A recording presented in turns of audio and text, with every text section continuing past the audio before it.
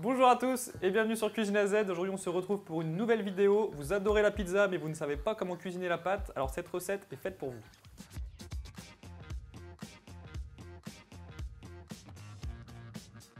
Première étape pour cette recette, on va d'abord s'occuper de la levure. On va y ajouter deux petites choses, de l'eau chaude, à peu près 2 cuillères à soupe, et une bonne pincée de sucre. Le sucre va en fait développer la levure. On mélange un petit peu. Je vais laisser agir la levure 15 à 20 minutes. Le temps que notre levure termine de lever, je vais m'occuper de la farine. Un petit peu de sel sur l'extérieur, équivalent d'une pincée. On va faire un petit puits.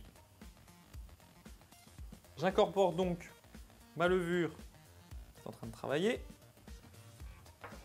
Mon huile d'olive. Et là, comme on dit, il faut mettre la main à la pâte. On commence à incorporer tout doucement. Alors ce qu'on va pouvoir faire, à présent, c'est ajouter tout doucement les 15 centilitres d'eau froide. Forcément au début, ça colle. Elle sera parfaite à la fin.